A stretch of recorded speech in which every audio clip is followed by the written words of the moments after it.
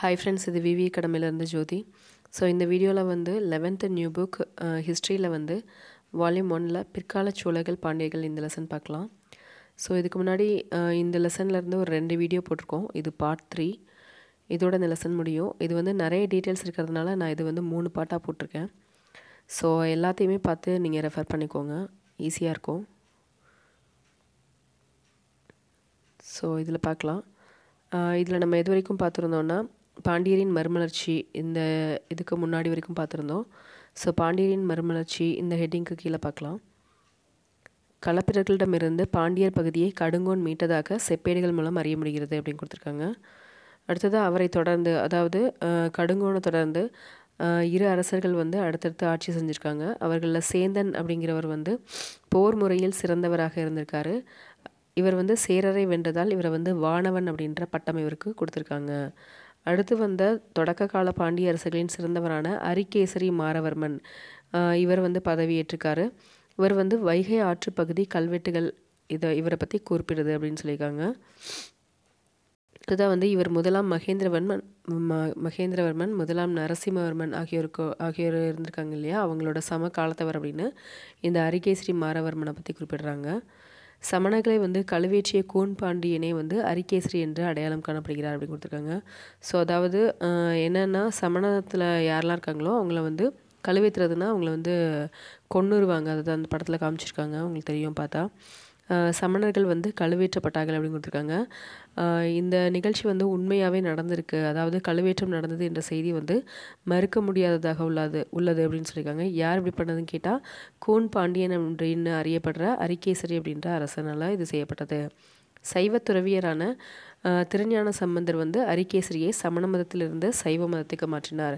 So இவரே முதல்ல அதாவது கூன் பாண்டியன்கிற அரிகேசரி ஒன்றே வந்து சைவ இதில் தான் இருந்திருக்காரு சமண மதத்தில் தான் இருந்திருக்காரு. அதுக்கப்புறமா அவர் வந்து சைவ மதத்துக்கு மாற்றுறது யாருன்னு பார்த்தா திருஞான சம்பந்தர். அவர் மாறினதுக்கப்புறமா மக்களையும் மாற சொல்வார். அப்படி மாறாதவங்களை வந்து கழுவேற்றிருக்காரு அடுத்ததாக ஜதில பராந்தக நெடுஞ்சடையான். இவர் வந்து முதலாம் வரகுணன் அப்படின்னு அழைக்கப்படுறாரு. இவர் வந்து ஆட்சி பொறுப்பை ஏற்றார். இவரே புகழ்பெற்ற வேள்விக்குடி நிலக்கொடை அளித்தவர் அப்படின்னு சொல்லப்படுறாங்க.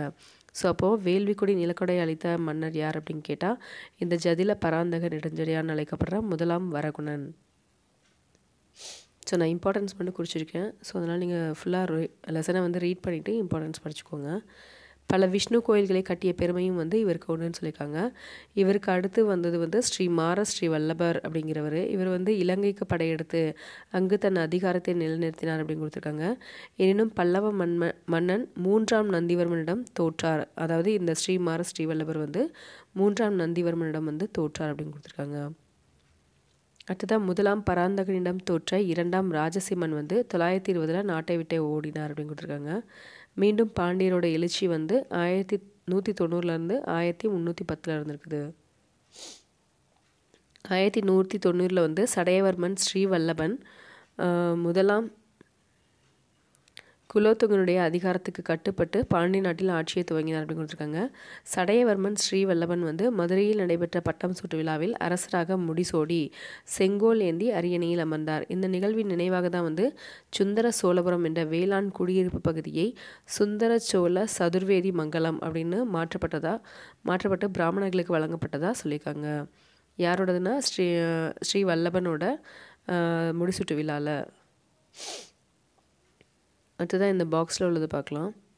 பாண்டிய நாட்டுக்கு வருகை தந்த வெனிசிய பயணி வந்து மார்க்கோ போலா. இவர் வந்து நேர்மையான நிர்வாகத்துக்கும் நிர்வாகத்துக்காகவும் வெளிநாட்டு வணிகர்களை சிறந்த முறையில் நடத்தியதற்காகவும் பாண்டிய அரசரை வந்து பாராட்டியுள்ளார் அப்படின்னு சொல்லியிருக்காங்க. உடன்கட்டை ஏறும் வழக்கம் வந்து இருந்திருக்குது. அரசர்கள் பின்பற்றிய பலதார முறை இதுவும் இருந்திருக்குது. மார்க்கோபோலாவோட குறிப்பில் இதை நம்ம தெரிஞ்சுக்கிறோம் அப்படின்னு கொடுத்துருக்காங்க. அடுத்ததாக சோழரின் வீழ்ச்சிக்கு அப்புறமா பதிமூன்றாம் நூற்றாண்டில் தான் வந்து பாண்டியரின் செல்வாக்கு மிக்க அரச மரபினராக மாறினார்கள். மதுரை அவர்களின் தலைநகரமாக இருந்தது. அதாவது பாண்டியர்களோட தலைநகரம் வந்து மதுரையாக இருந்தது. காயல் வந்து அவங்களோட பெரும் துறைமுகமாக இருந்தது. வெனிசை சேர்ந்த புகழ்பெற்ற பயணி மார்க்க போலோ நம்ம இப்போ பார்த்தோம் இல்லையா? அவர் வந்து ஆயிரத்தி இரநூத்தி எண்பத்தி எட்டுலையும் ஆயிரத்தி எண்ணூற்றி தொண்ணூற்றி மூணுலையும் ரெண்டு முறையாக வந்து காயலுக்கு இந்த துறைமுகத்துக்கு வந்திருக்கிறார் அப்படின்னு சொல்லப்பட்டிருக்குது. அடுத்ததாக சடையவர்மன் சுந்தரபாண்டியனை பற்றி பார்க்குறோம் முதலாம் சடையவர்மன் சுந்தரபாண்டியன் என்று அழைக்கப்படுகிறார். அவருடைய ஆட்சி காலத்தில் தான் வந்து பாண்டிய அரசு வலிமையின் உச்சத்தில் இருந்தது அப்படின்னு கொடுத்துருக்காங்க. அப்போ பாண்டிய அரசு வந்து ரொம்ப வலிமையோட உச்சத்தில் இருந்தது யாரோட காலத்தில் அப்படின்னு பார்க்கும்போது முதலாம் சடையவர்மன் சுந்தரபாண்டியனோட காலத்தில். அடுத்ததாக சோழரின் வீழ்ச்சி வந்து மால்வா பகுதியை ஆட்சி செய்த போஜ அரசன் வீர சோமேஸ்வரனுக்கு சுந்தரபாண்டியனை சவாலுக்கு அழைக்கும் துணிச்சலை கொடுத்ததுன்னு கொடுத்துருக்காங்க. ஸோ இருவருக்கும் இடையே இந்த இருவருக்கும் இடையே வந்து கண்ணனூரில் நடந்த போரில் வந்து சுந்தரபாண்டியன் வந்து வீர சோமேஸ்வரனை வென்று மால்வா பகுதியை சூறையாடினார் அப்படின்னு கொடுத்துருக்காங்க. சேந்தமங்கலத்தையும் இவர் வந்து கட்டுக்குள் கொண்டு வந்திருக்கார். அடுத்ததுக்கப்புறமா காடவர்களையும் அதாவது இந்த கயவர் இதெல்லாம் பொருட்கள் எல்லாம் கவர்ந்துட்டு போவாங்க இல்லையா? அவங்களையும் வந்து அடக்கிய சுந்தர பாண்டியன் அவர்களை கப்பம் செலுத்த பணித்தார் அப்படின்னு கொடுத்துருக்காங்க. அடுத்ததாக மாரவர்மன் குலசேகரனை பற்றி கொடுத்துருக்காங்க. சுந்தரபாண்டியனுக்கு பிறகு மாரவர்மன் குலசேகரன். நாற்பது ஆண்டுகள் பாண்டிய நாட்டை வெற்றிகரமாக ஆட்சி புரிந்தார். அவரது ஆட்சியில் தான் வந்து அமைதியும் வளர்ச்சியும் நிலவின அப்படின்னு கொடுத்துருக்காங்க. இவர் வந்து ஆயிரத்தி இரநூத்தி அறுபத்தி எட்டுலேருந்து ஆயிரத்தி முந்நூற்றி பன்னெண்டு வரைக்கும் ஆட்சி செஞ்சுருக்காரு. இவருக்கு இரு மகன்கள் இருந்திருக்காங்க. ஒருத்தர் வந்து சுந்தரபாண்டியன் இன்னொருத்தர் வந்து வீரபாண்டியன். இந்த இளையவர் வீரபாண்டியனுக்கு வந்து இளவரசு அப்படின்ற பட்டம் சூட்டுவார் ஆயிரத்தி முந்நூற்றி ரெண்டில். ஸோ இதனால் அவங்களுக்குள்ளே சண்டை வந்து உள்நாட்டு போரும் அந்த நேரத்தில் நடைபெறும். இந்த உள்நாட்டு போரில் வந்து வீரபாண்டியன் அதாவது இளையவரான வீரபாண்டியன் வந்து வெற்றி பெற்று ஆட்சியை பிடிப்பார். சுந்தரபாண்டியன் வந்து டெல்லிக்கு தப்பி சென்று அலாவுதீன் கில்ஜியிடம் வந்து அடைக்கலம் புகுவார். இந்த நிகழ்வுகளே மாலிகாபூர் தமிழக படையெடுப்புக்கு வழிவகுத்தன அப்படின்னு கொடுத்துருக்காங்க. ஸோ அடுத்ததாக மாலிகாபூர் படையெடுப்புனா என்னன்னு சொல்லியிருக்காங்க. மாலிகாபூர் வந்து ஆயிரத்தி முந்நூற்றி பதினொன்றில் மதுரையை அடைந்த போது அங்கே யாரும் இல்லை அப்படின்னு கொடுத்துருக்காங்க. வீரபாண்டியன் வந்து ஏற்கனவே தப்பியோடி இருந்தார். இந்த மதுரை படையெடுப்பு குறித்து அலாவுதீன் கில்ஜியின் அரசவை கவிஞர் அமீர் குஸ்ரு இவர் வந்து சொல்லியிருக்காரு. சொக்கநாதர் கோயிலை இடித்து ஏராளம் என விலைமிக்க பொருட்களை வந்து மாலிகாபூர் எடுத்து சென்றார் அப்படின்னு யார் குறிப்பிட்டிருக்காங்கன்னா கில்ஜியோட அரண்மனையில் இருந்த அதாவது அலாவுதீன் கில்ஜியோட அரசவை கவிஞரான அமீர் குஸ்ரு வந்து அதை பற்றி சொல்லியிருக்காரு இந்த மாலிகாபூர் படையெடுப்பை பற்றி ஸோ மற்றபடி இந்த மாலிகாபூர் படையெடுப்பை பற்றி ஜஸ்ட்டு ரீட் பண்ணி விட்டுக்கோங்க போதுமானது. அடுத்ததாக இவர்களோட அரசு அப்படின்னு பார்க்கும்போது பாண்டிய அரசர்களை கூடல்கோன் கூடல் நகர் காவலன் மதுரபுர பரமேஸ்வரன் என்று போற்றுவது மரபாக இருந்ததுன்னு சொல்லியிருக்காங்க. ஸோ இதெல்லாம் வந்து பாண்டிய மன்னர்களுக்கு கொடுக்கப்பட்ட பட்டங்கள். அதோட தொடக்க கால பாண்டியருக்கான பட்டங்கள் அப்படின்னு பார்க்கும்போது பாண்டிய அதியரசன் பாண்டிய மகராசன் மன்னர் மன்னன் அவன் அவனிப சேகரன் ஏக வீரன் சகல புவன சக்கரவர்த்தி. இந்த பேர்களும் வந்து பாண்டியர்களுக்கு முந்தின காலத்திலே கொடுக்கப்பட்ட பட்டங்கள் அப்படின்னு சொல்லப்படுது. அடுத்ததாக பிற்கால பாண்டியருக்கு சமஸ்கிருதத்தில் வந்து பட்டங்கள் கொடுத்துருக்காங்க. அது என்னன்னு பார்க்கும்போது கோதண்டராமன் கோலாகலன் புவனேக வீரன் கலியுக ராமன் போன்றவை இதெல்லாம் சொல்லியிருக்காங்க. தூய தமிழில் அமைந்த பட்டங்கள் பாண்டியருக்குரியது என்னெல்லாம் பார்க்கும்போது செம்பியன் வானவன் தென்னவன் போன்றவை அப்படின்னு கொடுத்துருக்காங்க. ஸோ இது எல்லாமே வந்து ரொம்ப முக்கியமானது. இதில் பொருத்துகளை கூட கேட்கலாம். அதாவது பிற்கால பாண்டியருக்கான பெயர்கள் என்னவாக இருந்துச்சு? சமஸ்கிருதத்தில் பாண்டியர்களுக்கு வழங்கப்பட்ட பெயர்கள் என்னவாக இருந்ததுன்னு கேட்கலாம். ஸோ அதனால் இம்பார்ட்டன்ட் கொடுத்து படிச்சுக்கோங்க. அடுத்தது அரண்மனையும் அரியணையும் இந்த ஹெட்டிங்க்கு கீழே. பாண்டியர் அரண்மனை திருமாளிகை மணபரணன் திருமாளிகை அப்படின்னு அழைக்கப்பட்டிருக்குது. அடுத்ததாக குறுநில மன்னர்கள் மீது அரசுகளின் சட்டபூர்வ மேலாண்மையை காட்டும் விதத்திலும் அரியணைகளுக்கு பெயரிடும் வழக்கம் இருந்ததுன்னு சொல்லியிருக்காங்க. அத்தகைய அரியணைகளின் பெயர்கள் வந்து முன்னைய தரையன் பாண்டிய தரையன் கலிங்க தரையன் அப்படின்னு சொல்லப்பட்டிருக்குது. அரசர்கள் வந்து அரியணைகளில் இருந்தபடி தான் வந்து அரச கட்டளைகளை வந்து வாய்மொழியாக பிறப்பிச்சிருக்காங்க. அவை வந்து திருமந்திர ஓலை அப்படின்னு அழைக்கப்பட்டிருக்குது. ஸோ இந்த பாகபலியில் சொல்கிற மாதிரி கட்டளை கட்டளை என் சாசனம் அப்படின்னு சொல்கிற மாதிரி திருமந்திர ஓலை அப்படின்னு அழைக்கப்பட்டிருக்குது. அவங்க சொல்லப்படுற வாய்மொழியாக சொல்லப்படுற அரச கட்டளைகள். அடுத்ததாக அரச அதிகாரிகள்னு பார்க்கும்போது அதிகாரிகள் குழு வந்து அரச கட்டளைகளை நிறைவேற்றுவது முதன்மை அமைச்சர் வந்து உத்தர மந்திரி அப்படின்னு அழைக்கப்பட்டிருக்காது. மாணிக்க வாசகர் குலச்சிறையார் மாறன்கரி போன்ற ஆளுமைகள் வந்து பாண்டிய அமைச்சர்களாக இருந்துள்ளனர் கொடுத்துருக்காங்க. அரச தலைமைச் செயலகம் வந்து எழுத்து மண்டபம் அப்படின்னு அழைக்கப்பட்டிருக்குது. அடுத்ததாக அகப்பரிவார முதலிகள் என்பவர்கள் வந்து அரசரின் தனிப்பட்ட உதவியாளர்களாக இருந்தார்கள் அப்படின்னு கொடுத்துருக்காங்க. ஸோ பாண்டியர்களை பற்றி அதிகமாக நம்ம எந்த புக்லேயும் படிக்க முடியாது. ஸோ இந்த புக்கில் தான் அதிகமாக இருக்குது அதனால் நீங்கள் ப ரொம்ப இம்பார்ட்டன்ட் கொடுத்து படிச்சு படிச்சுக்கோங்க பாண்டியர்களை பற்றி மாறன் எயினன் சதனன் கணபதி ஏனாதி சதன் திரதிரன் மூர்த்தி எயினன் போன்றவை வந்து உயர்ந்த மதிப்புக்குரிய அரச பதவிகளாக இருந்தன அப்படின்னு கொடுத்துருக்காங்க. அடுத்ததாக படைத்தளபதிகளுக்கு வந்து பள்ளிவேலன் பராந்தகன் பள்ளிவேலன் மாரநாதித்தன் தென்னவன் தமிழவேல் ஆகிய பட்டங்கள் வந்து சூட்டப்பட்டிருக்குது படை தளபதிகளுக்கு.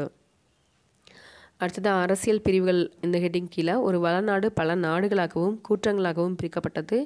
நாடு கூற்றம் ஆகியன வந்து மங்களம் நகரம் ஊர்க்குடி ஆகிய குடியிருப்புகளை கொண்டவையாக இருந்தன.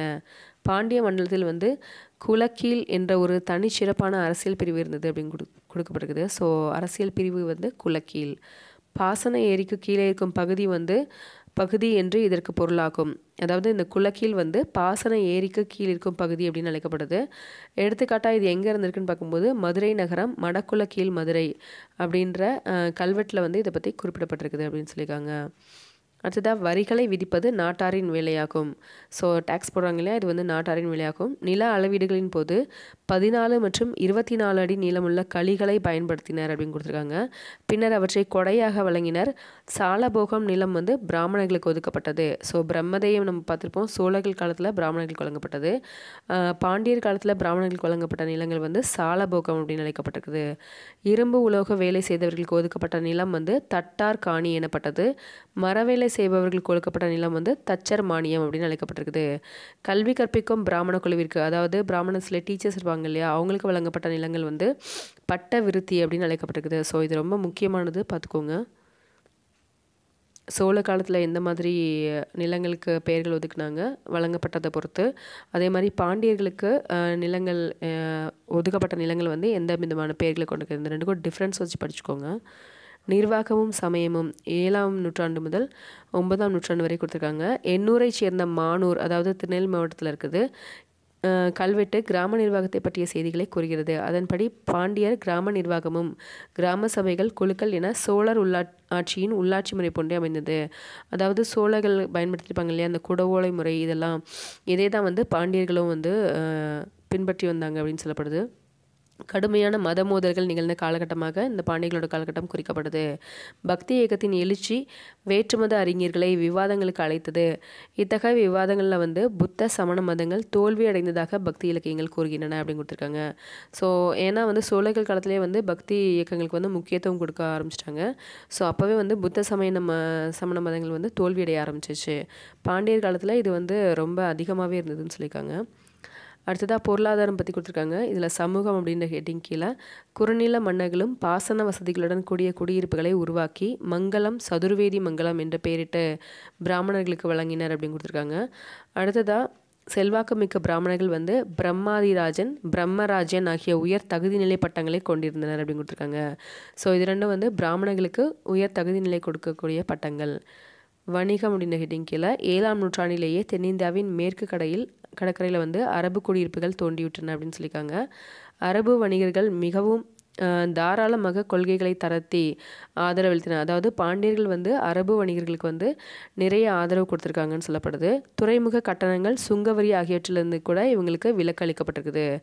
காயல் துறைமுக நகரில் வந்து அரபு தலைவன் மாலிக் இஸ்லாம் ஜமாலுதீன் என்பவரால் ஒரு முகவர் நிறுவனம் கூட தொடங்கப்பட்டிருக்குது அப்படின்னு சொல்லியிருக்காங்க. பாண்டியர் காலத்தில் வந்து அரபு வணிகர்களுக்கு ரொம்ப இம்பார்ட்டன்ஸ் கொடுத்துருக்காங்க.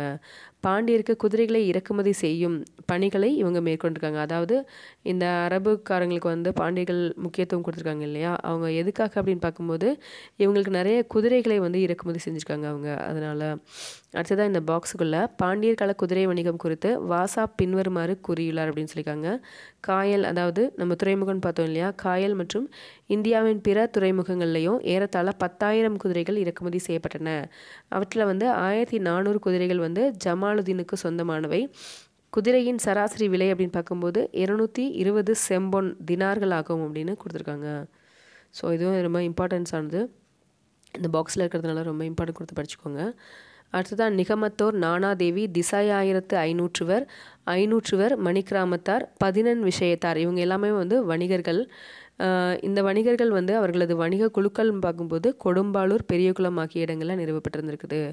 பதிமூன்று மற்றும் பதினான்காம் நூற்றாண்டுகளில் வந்து குதிரை வணிகம் விறுவிறுப்பாக நடைபெற்றதுன்னு கொடுத்துருக்காங்க. பாண்டிய அரசர்கள் வந்து குதிரைகளில் அதிக முதலீடு செய்தனர் என்று மார்க்கோபோலோ மற்றும் வாசப் ஆகியோர்கள் குறிப்பிட்டிருக்காங்கன்னு சொல்லியிருக்காங்க.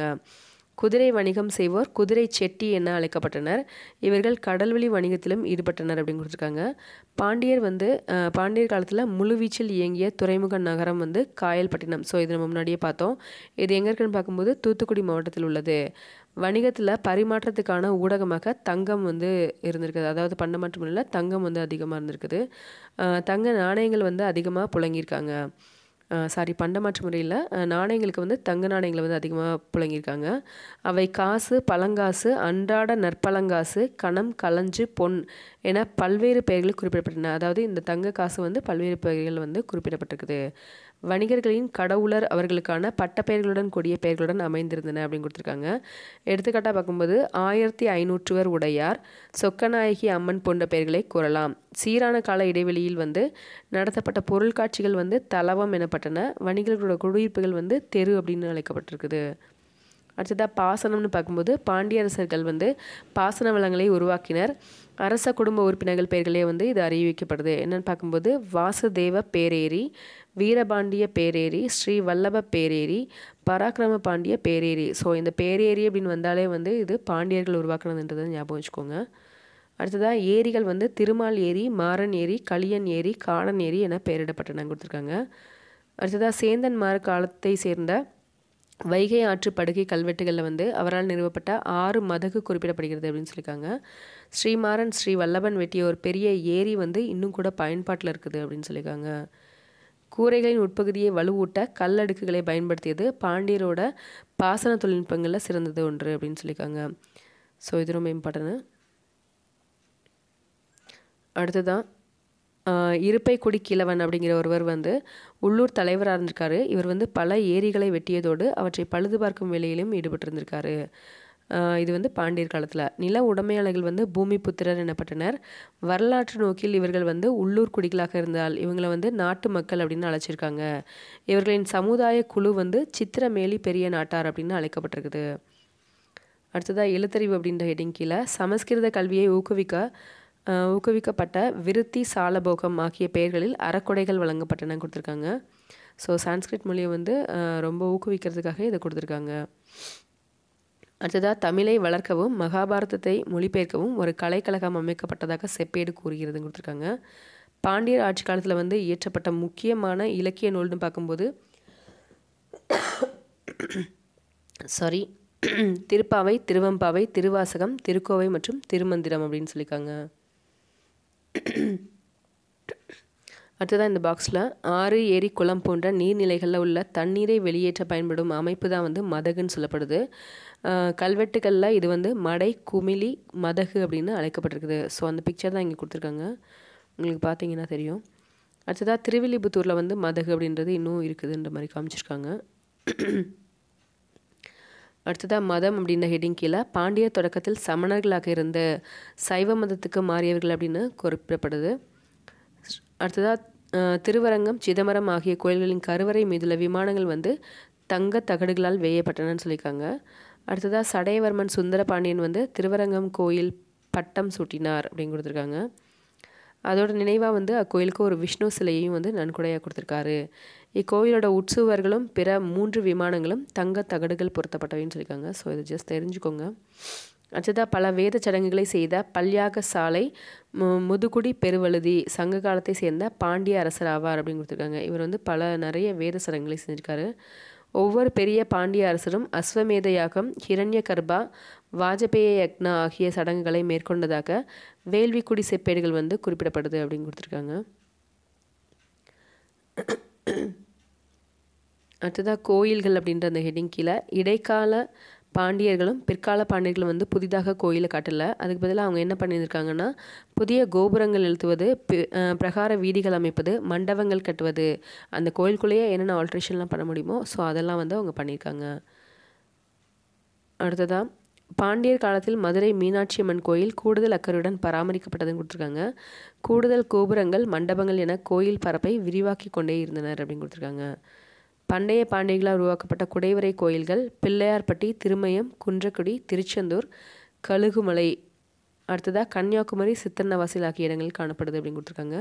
சித்தன்னவாசல் அரிட்டாப்பட்டி திருமலைபுரம் திருநெடுங்கரை ஆகிய கோயில்களில் வந்து ஓவியங்கள் காணப்படுதுன்னு சொல்லியிருக்காங்க. சித்தன்னவாசல் ஓவியம். இது வந்து புதுக்கோட்டையில் இருக்க தெரிஞ்சுக்கோ இல்லையா? சித்தன்னவாசல் குகை கோயில் காணப்பட்ட ஒன்பதாம் நூற்றாண்டு கல்வெட்டு. அந்த குகை வந்து இளம் கௌதமவர் என்பவரால் உருவாக்கப்பட்டது அப்படின்னு சொல்லப்படுது. அதே காலகட்டத்தை சேர்ந்த மன்னன் யாருன்னு பார்க்கும்போது ஸ்ரீ மாறன் ஸ்ரீ வல்லவன். இக்கோயிலை புதுப்பித்தார் அப்படின்னு சொல்லப்பட்டிருக்குது. அடுத்ததாக இங்கே பாக்ஸில் சிந்தாமணி மயிலாப்பூர் திருவெற்றியூர் திருவாடானை மகாபலிபுரம் ஆகியவை வந்து சுறுசுறுப்பான கடல் வணிக மையங்களாக இருந்தன கொடுத்துருக்காங்க. இதை வந்து இந்த கல்வெட்டுகளை குறிப்பிடப்பட்டிருக்குதுன்னு சொல்லியிருக்காங்க. ஸோ இந்த பாக்ஸ் ரொம்ப முக்கியம் பார்த்துக்கோங்க. சுறுசுறுப்பான இயங்கப்பட்ட கடல் வாணிக மையங்கள் இதெல்லாம். அடுத்ததாக இந்த லெசனில் இருக்கிற இந்த பாடச்சுருக்கம் இருக்குது இல்லையா? சோழர்களை பற்றியும் அடுத்தது பாண்டியர்களை பற்றியும் இருக்குது ஸோ இது ரொம்ப ரொம்ப இம்பார்ட்டன்ட் பார்த்துக்கோங்க. ஆல்ரெடி நம்ம படித்த லெசனில் இருந்து தான் இதை கொடுத்துருக்காங்க. இருந்தாலும் உங்களுக்கு இதை இந்த ஓவர் லைன்ஸாக இருக்கும்போது சீக்கிரமாகவும் மைண்ட்லேயும் ஏறும். உங்களுக்கு ஈஸியாக இருக்கும் இதை பார்த்தா. இந்த ஃபுல் லெசன் படித்த ஒரு திருப்தி கிடைக்கும். ஸோ இதோட இது ஒன் வேர்ட்ஸ் ஃபுல்லாமே நான் வந்து ஒரு வீடியோவில் போட்டிருக்கேன். அந்த வீடியோவை நான் உங்களுக்கு டிஸ்கிரிப்ஷனில் லிங்க்கில் வந்து ஷேர் பண்ணுறேன் பார்த்துக்கோங்க. Thank you friends